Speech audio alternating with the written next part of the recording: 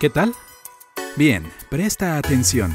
Cuando quieres entrenar tu cuerpo, vas al gimnasio.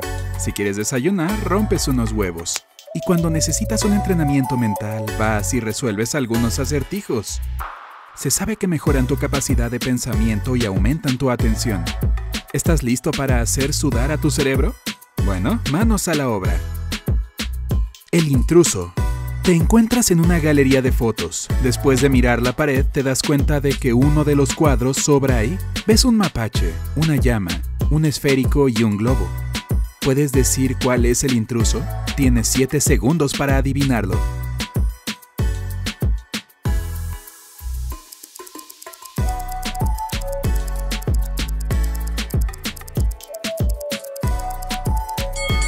Es la foto de la llama. Los otros tres objetos tienen solo una letra repetida en sus nombres, pero la llama tiene dos letras dobles. Y confía en mí, no te acerques demasiado a ella, o podría escupirte en la cara.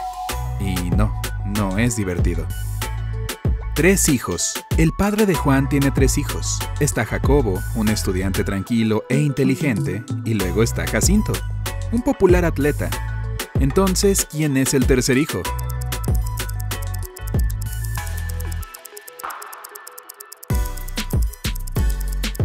¿Es Juan? Su padre tiene tres hijos, Jacobo, Jacinto y él, Juan. ¿Medio lleno o medio vacío? Hay un barril de agua en el patio. Miras dentro y dices que está más que medio lleno, pero tu amigo sostiene que está menos que medio lleno. ¿Cómo pueden saber quién tiene razón sin usar herramientas de medición o sin sacar agua del barril?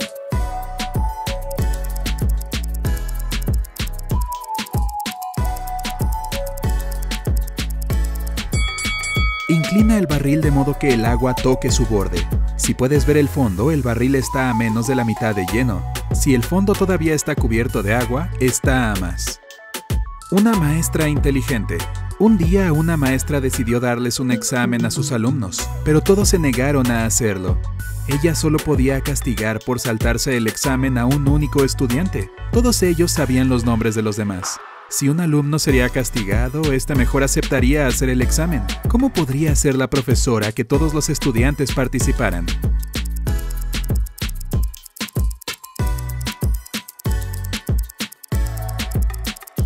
Les dijo que castigaría al primer estudiante que no aceptara tomar el examen empezando en orden alfabético. Entonces esta primera persona no se saltaría el examen. La siguiente persona en la lista tampoco se lo saltaría y así sucesivamente hasta el final. ¿Qué camino tomar? Te encuentras en medio de un bosque con tres caminos delante de ti. Uno está cubierto con carbón ardiente, otro está lleno de clavos muy afilados, y el tercer camino es tan frío que parece la Antártida justo debajo de tus pies. ¿Qué camino deberías elegir?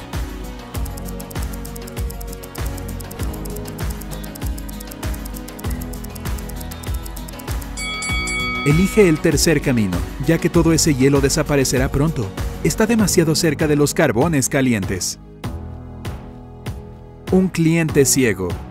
Un hombre ciego entra en una tienda de electrónica y quiere comprar un teléfono móvil. Hay muchos aparatos en los estantes, pero él no puede verlos. Y aún así, 10 minutos después, salió de la tienda justo con el mismo modelo de teléfono que quería.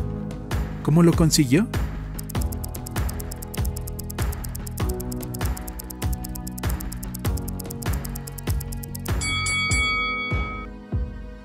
El hombre era ciego, no mudo. Le pidió a un dependiente que le vendiera el teléfono que buscaba. Un extraño misterioso. Juan estaba en casa, sentado en su silla con un libro. De pronto una estatua súper cara de su esposa se cayó y se rompió en su dormitorio. Corrió al cuarto a tiempo para ver un extraño saltar por la ventana y salir corriendo. Juan intentó perseguirlo, pero sus lentes se empañaron por el frío. Por eso no pudo identificar al intruso. Cuando la policía llegó, escucharon su historia e inmediatamente supieron que estaba mintiendo. El hombre se inventó esta historia para no admitir que él mismo había roto la estatua. ¿Cómo supieron los oficiales?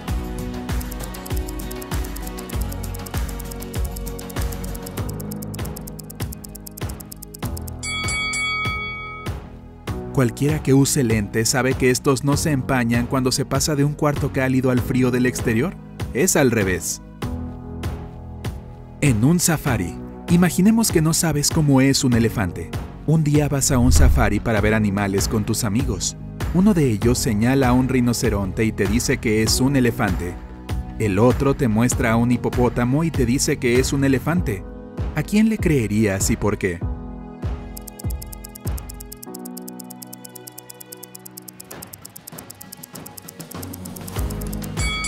La tarea era imaginar que no sabías cómo era un elefante, no que no sabías cómo se ven un hipopótamo y un rinoceronte.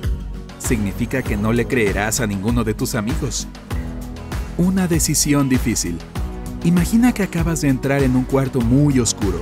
Hay una lámpara de aceite, un periódico y algo de leña dentro del cuarto. Solo tienes un cerillo. Tienes que tomar una decisión difícil. ¿Qué prender primero?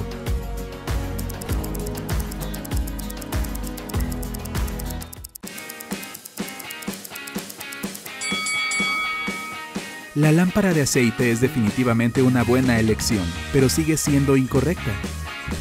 Primero que nada, tendrías que prender el cerillo. Una lluviosa paradoja. Un día un hombre quedó atrapado en la lluvia. Por desgracia no tenía paraguas ni sombrero ni cualquier otra cosa que pudiera usar para mantenerse seco. Sin embargo, ni un solo pelo de su cabeza se mojó. ¿Por qué?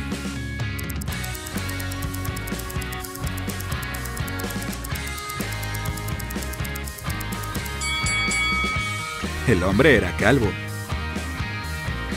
Un problema del arte moderno. Miguel Adame, a quien no le gustaba lo que pasaba por arte en estos tiempos modernos, se apresuró a entrar en la galería de la ciudad y causó daños a varias pinturas, con un valor total de millones de dólares. Sin embargo, el gerente de la galería le agradeció al señor Adame por sus acciones. ¿Por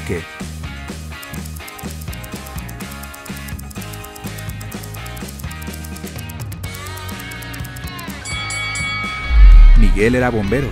El agua de su manguera dañó varias obras maestras, pero aún así logró extinguir el fuego y salvó a muchas más obras. Un caballo con recursos.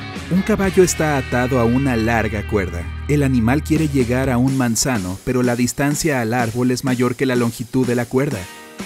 Y aún así se las arregla para llegar ahí. ¿Cómo es esto posible?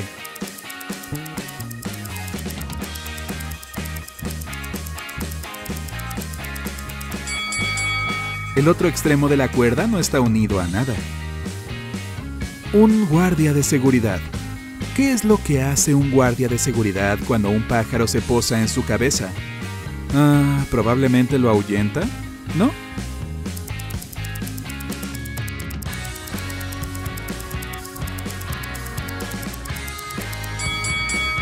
Si un pájaro se sienta en la cabeza de un guardia de seguridad, lo más probable es que esta persona esté durmiendo. Un rompecabezas de cerillos. Tienes tres cerillos. Puedes hacer un 6 con ellos sin romperlos en pedazos.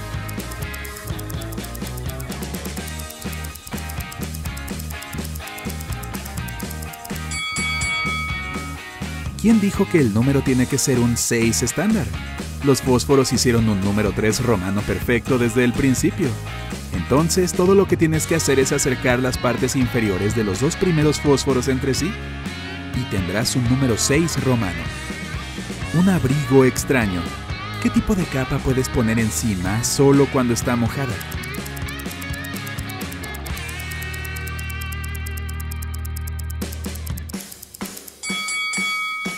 La respuesta es una capa de pintura.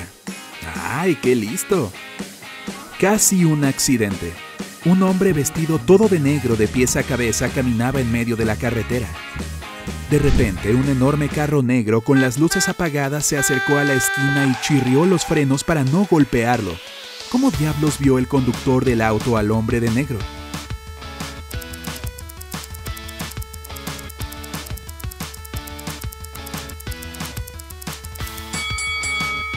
Bueno, es un poco difícil no notar a un hombre vestido de negro totalmente durante el día. ¿Qué animal? Imagina que estás en la naturaleza y hay un león delante de ti y un jaguar detrás de ti. Tienes un tranquilizante con una sola flecha. ¿Puedes averiguar el modo de salir de esta dura situación?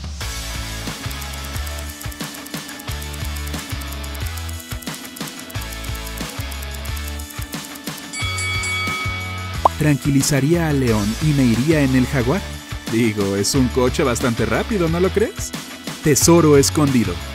Marta en verdad amaba a su hermanita pequeña, María, pero una vez tuvo que irse todo el día. No quería que María la echara mucho de menos o se aburriera. Por eso organizó una búsqueda del tesoro para la niña. Antes de que Marta se fuera, le dio a su hermana pequeña un mapa. Le dijo a la niña que, si seguía las instrucciones, encontraría un verdadero tesoro. María siguió el mapa hasta un árbol, dio el número exacto de pasos y giró en todos los puntos correctos. Eventualmente llegó al final y empezó a cavar. La pequeña niña cavó y cavó, pero aún así no encontró nada. Naturalmente estaba bastante molesta. Cuando Marta regresó, tomó el mapa y casi de inmediato encontró el tesoro. ¿Por qué? Esperemos que 7 segundos sean suficientes para resolver este misterio.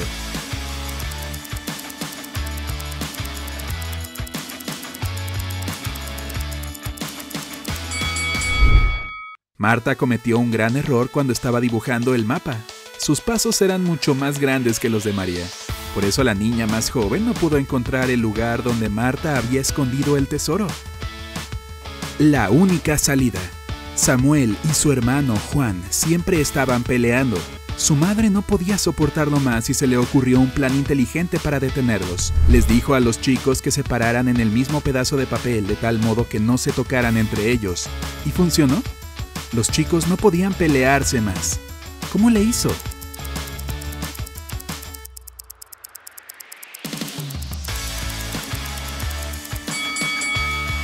La mujer deslizó el papel bajo una puerta cerrada e hizo que Samuel se parara de un lado y Juan del otro. Tiempos de insomnio. ¿En qué mes la gente duerme menos?